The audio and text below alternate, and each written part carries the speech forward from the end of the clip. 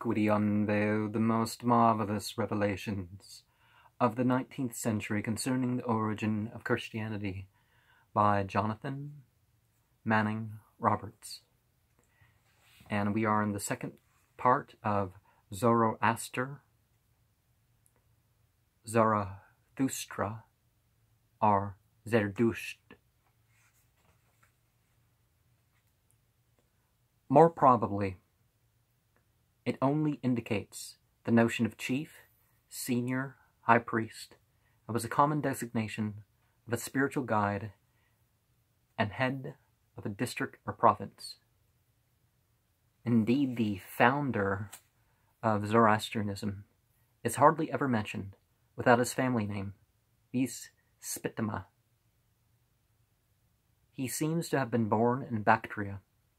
The term he applied to himself the terms he applied to himself were either mantran, i.e., a reciter of mantras, a messenger sent by Ahura Mazda, a speaker, one who listens to the voice of oracles given by the spirits of nature, one who receives the sacred words from Ahura Mazda through the flames.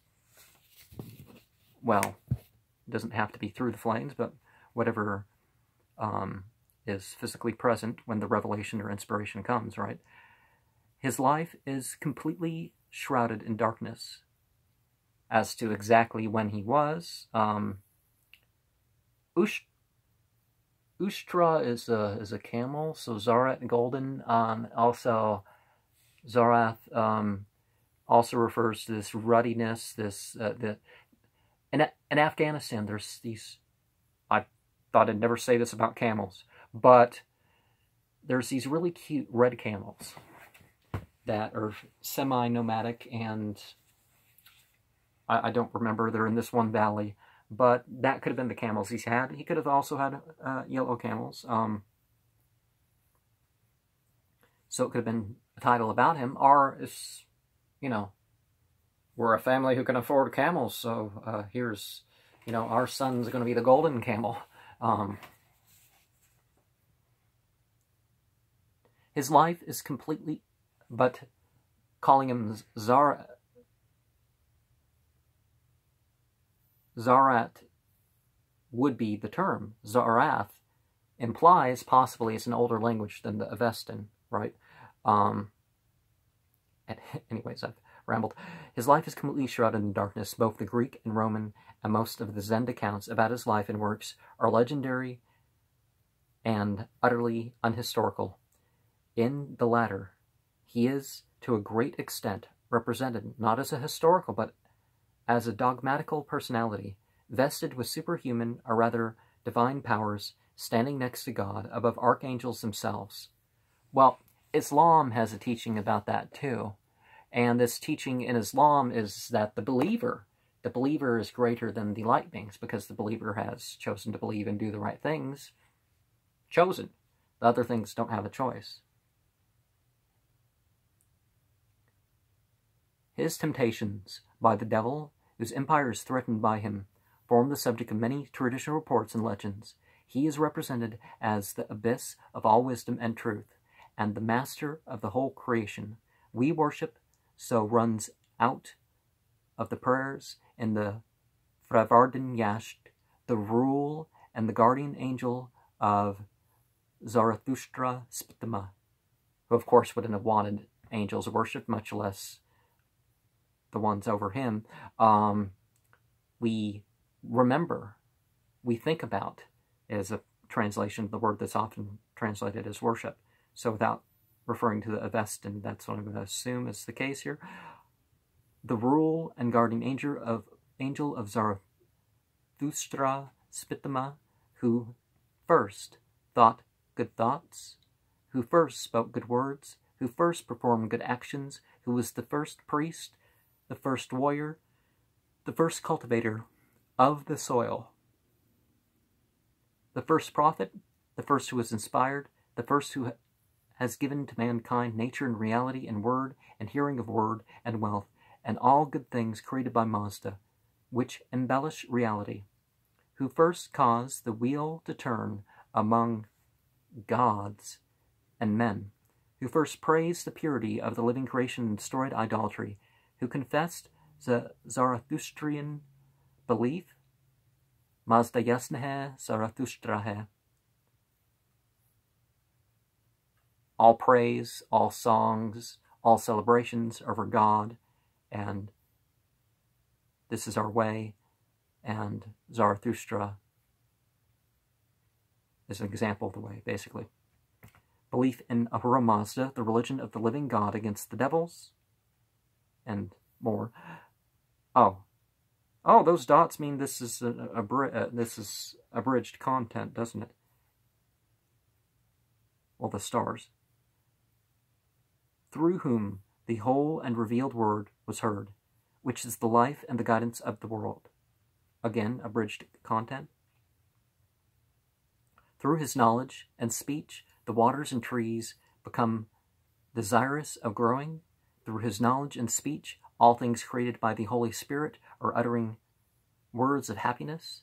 As will be shown hereafter, it will be apparent that the most eloquent and comprehensive prayer is addressed to a dual being, one part of whom is but the allegorical personification of the acting forces in nature, and the other part some inspired seer, sage, prophet, or medium who embodied the knowledge of the operation of the natural forces in written speech.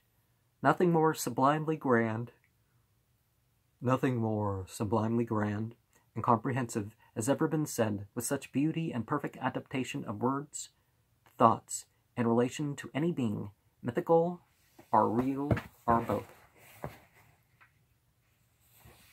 In the old Yasna, see Zendavesta alone, he appears like a living reality, a man acting a great and prominent part, both in the history of his country and that of mankind. His father's name seems to have been Aspa, and that of his daughter, the only one mentioned of his children, Chistra, very obscure, however, remains, even by this account, the time when he lived. The dates generally given are as follows. Sanus, oh, Canthus of, of Lydia, Lydia, places him about 600 years before the Trojan War.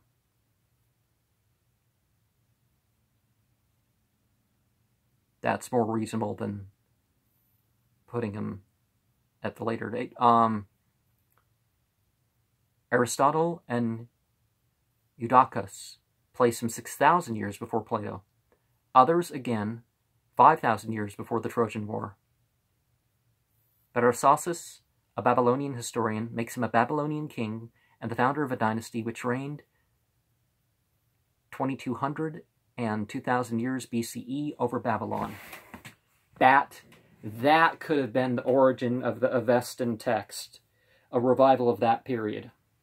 There's more information, but uh, we're going th through quickly here. The Parsis place him at the date of Hystaspes, Darius's father, whom they identify with the king mentioned in the Shah Nama, from whom, however, Hystaspes is totally distinct. This account would place him about 5500 BCE. Actually, the Parsis don't quite place him there. Of course, there's divisions among the Parsis, so I've, I do not remember the Parsi text where he's so early that he'd be after the Avestan text. Or why he, the Avestan text would be in such a... Um, again, we may be talking about multiple people when we say, oh, Zarathustra. Um, maybe there was a prophet, and then there was a revision, and then a revision, and then other revisions. And who knows, there may be further revisions and revivals of what remnants there are. 55. Oh, 550 BCE. There is scarcely a doubt that he must be considered to belong to a much earlier age, not later than 1000 BCE. Possibly he was a contemporary of Moses. Why was he not probably Moses himself? It is almost certain that Zarathustra was one of the Sosh Yantas, our fire priest, with whom the religious reform which he carried out boldly first arose.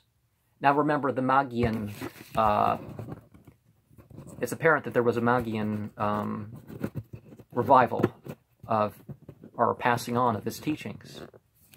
And uh, he, what seems to remain kind of shows that he was not quite of that period or inclination. When he first arose. These were probably at first identical with the Vedic Atharvans. Atar, what, what's what's the name of the Atar or something? Because fire uh, fire is Atar. Um, as indeed Zoroastrianism is merely an advanced stage of Brahmanism.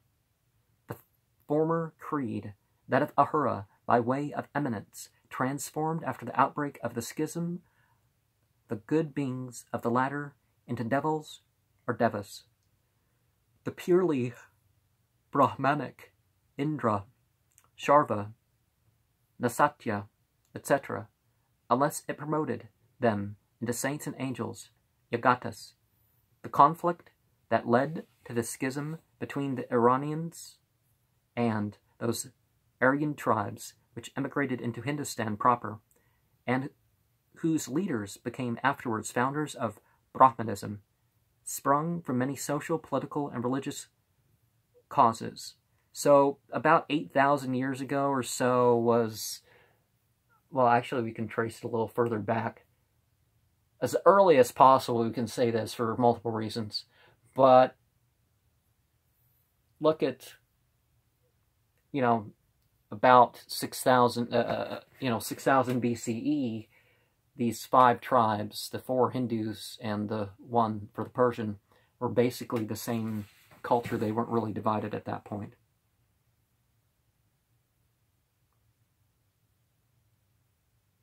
The former creed, that of the Hur by way of eminence.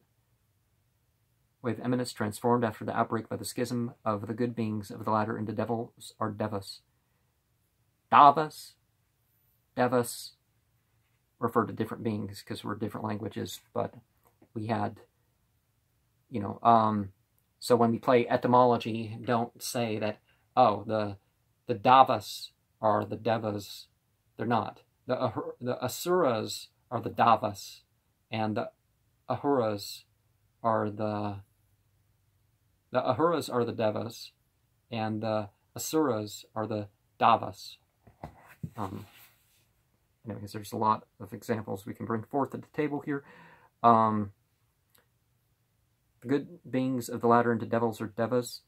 Uh, example, the purely Brahmanic Indra, Sharva, Nasatya, etc., unless it promoted them into saints or angels, yagatas, yazatas.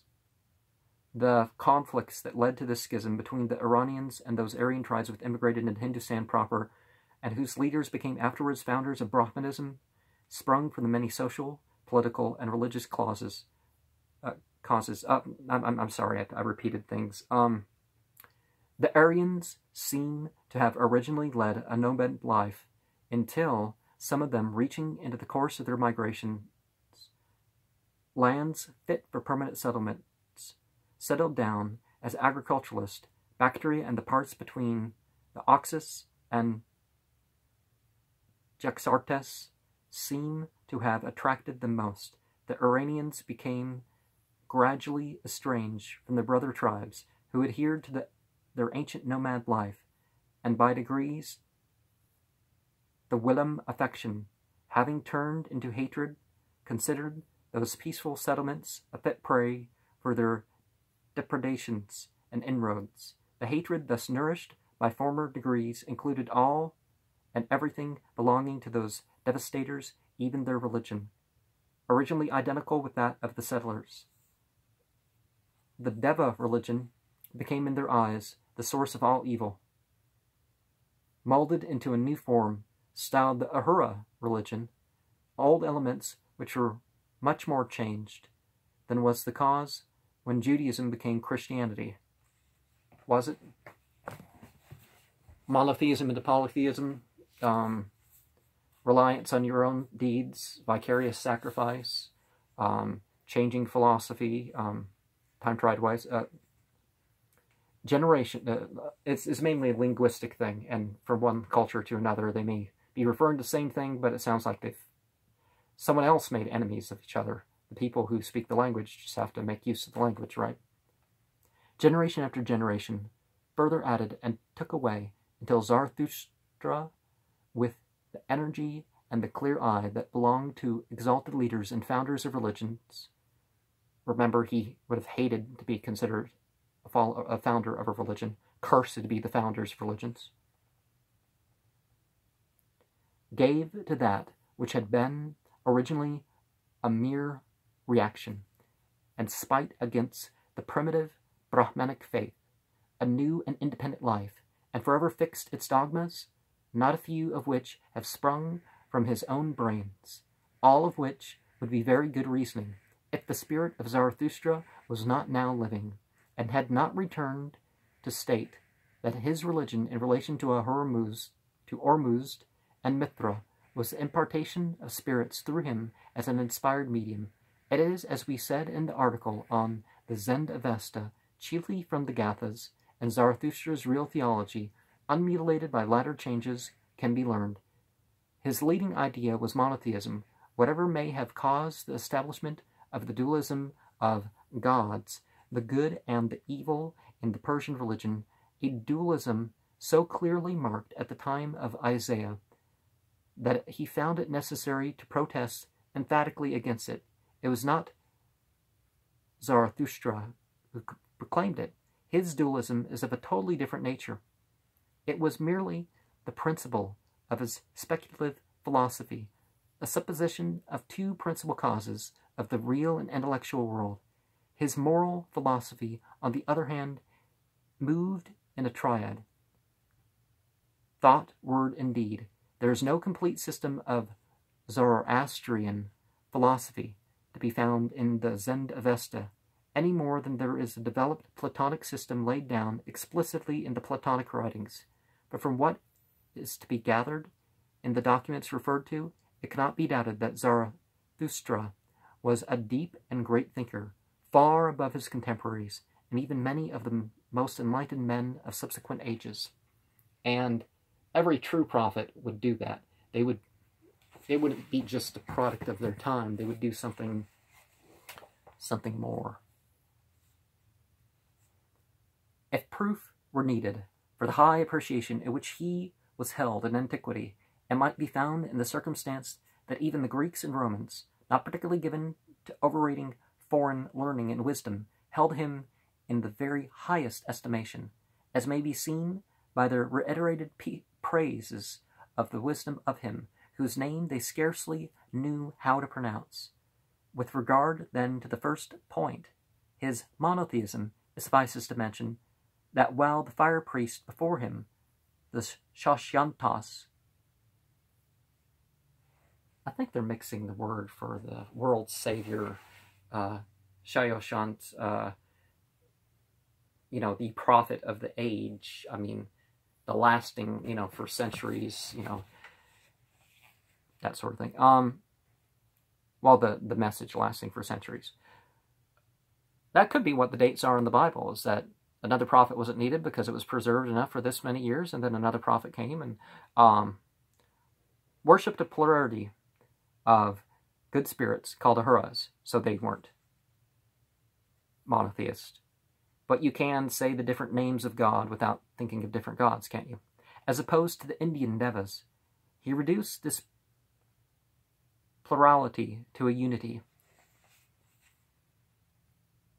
Every every prophet of God was accused of the same thing, it seems like, if there was enough information about him. Oh, he's making the gods one. Um, this one supreme being he called Ahura Mazda'u. That Ahura, that is Mazda'u, are the creator of the universe. Ahura Mazda. Oh, Ahura Mazda of the cuneiform inscriptions of the Achaemenidian kings, the Ahura Mazd of the Sasanian times, and the Hormazd or Ormazd of the modern Parsis. Because see, so there was the Magian, possibly personified by the um, Avestan revival. The Achaemenian, definitely, um, they wanted to get things down, sort of write their Bibles. The 21 Nasks, of which we only have a not purely transmitted form of one. Um, the Sassanian, of course, there, there was revival under them, and then the Parsis. Um, and it's time to step away from this uh,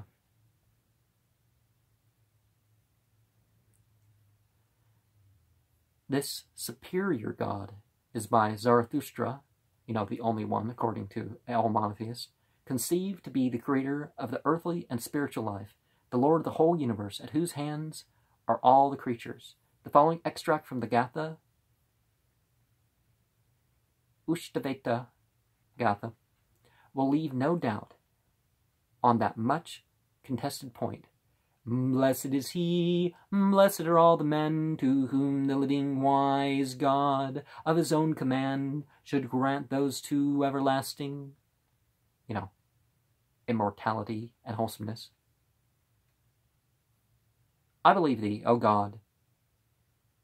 Oh, uh, there's missing words here. Um, I believe thee, O God, to be the best thing of all, the source of light for the world.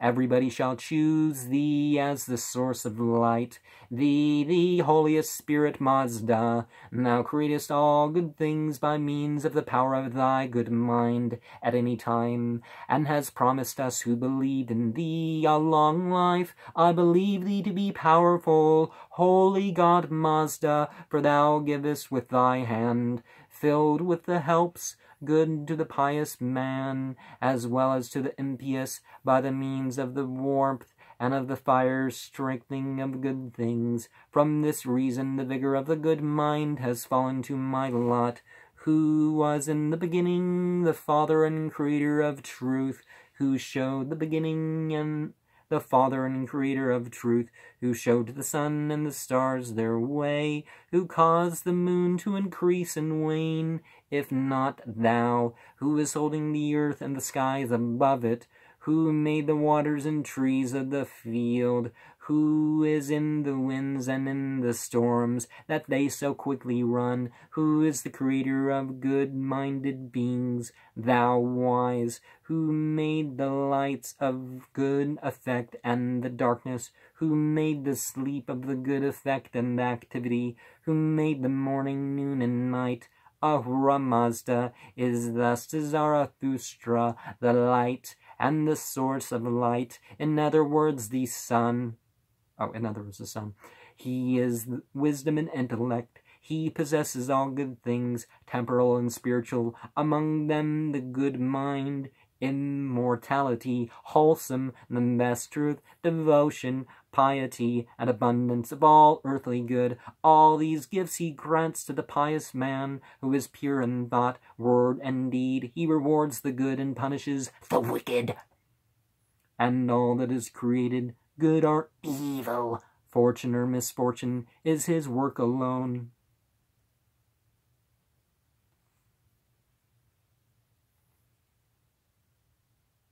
We spoke of Zarathustra's philosophical dualism. Oh, is this is this another um, another quote from something? Maybe it's the another seance.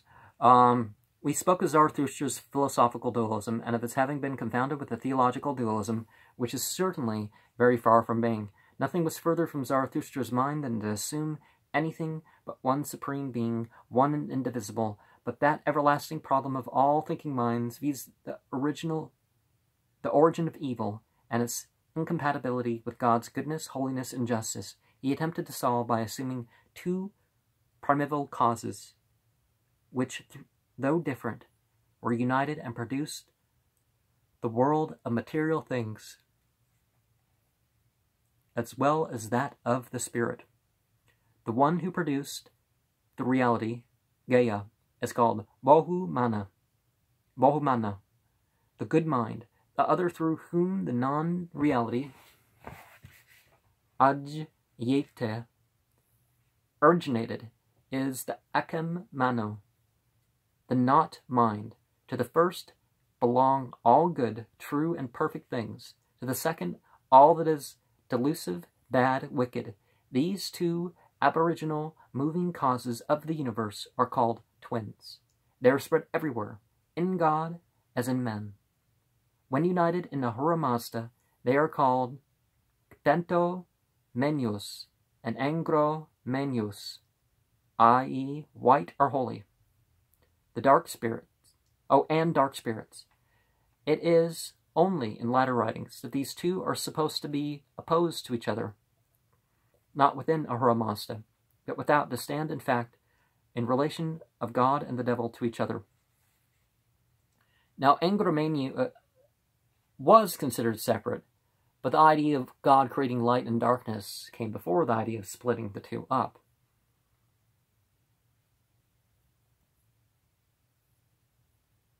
The inscription of Darius no, but one God, without any adversary whatever. But while the one side within him produced all that was bright and shining, and all that is good and useful in nature, the other side produced all that is dark and apparently noxious. But God does not create evil. Evil is a choice made with the created. Right?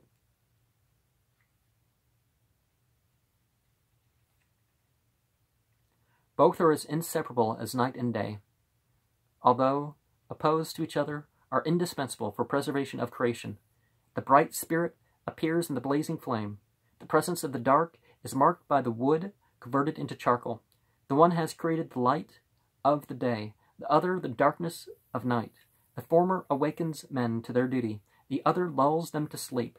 Life is produced by the one and extinguished by the other, who also by releasing the soil, uh, releasing the soul from the fetters of the body, enables her to go up to immortality and everlasting life. We have said already that the original monotheism of Zarathustra did not last long. False interpretations, misunderstandings, changes, and corruptions crept in, and dualism was established in theology.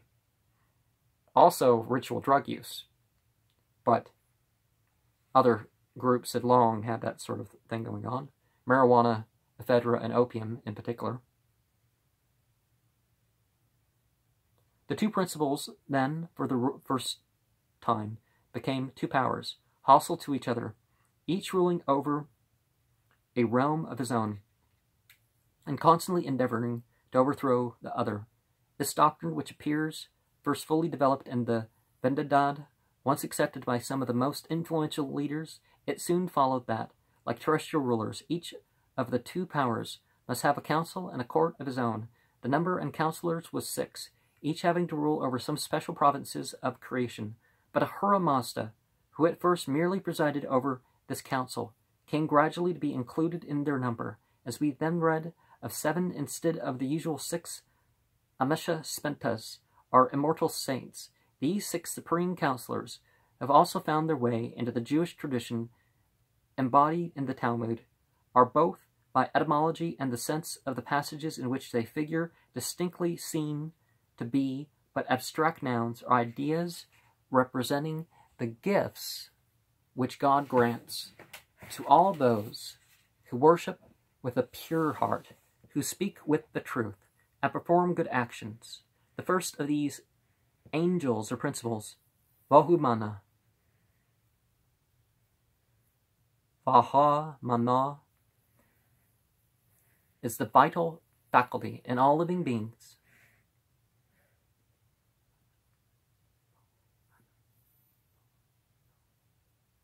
is the vital faculty in all living beings of the good creation.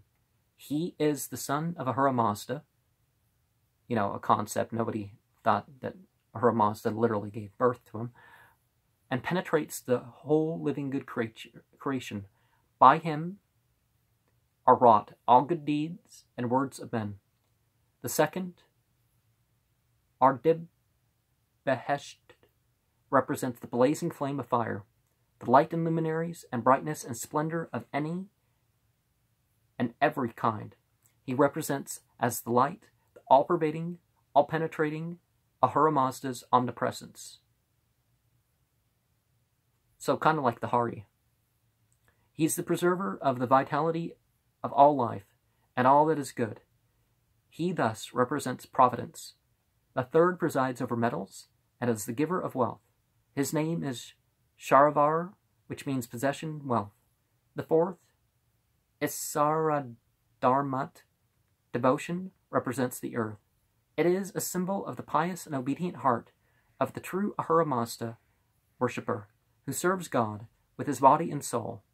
The two last, Khordad and Amerdat, preside over vegetation and produce all kinds and produce all kinds of fruit. But apart from the celestial council stands Sraosha, Serosht, uh, Serost, the angel, the archangel, vested with very high powers. He alone seems to have been considered a personality. He stands between God and men, the great teacher of the prophet himself. So sort of like a Gabriel figure. Here, dear reader, you have the great spirit control who is at the head of the band of spirits who used and inspired the great and immortal Persian medium. And, but not medium in the sense of the medium that they're hiring to, or promoting to deliver some of these messages. As he, Zarathustra, has led and controlled the spirit forces that have used the organism of the condemned, the contemned and persecuted medium, of the condemned and persecuted medium, he shows the way to heaven and pronounces judgment upon human actions after death. He is in the Yasna styled the sincere, the beautiful, the victorious, who protects our territories, the true, the master of truth. For his splendor and beauty, for his power and victory, he is to be worshipped and invoked. Well,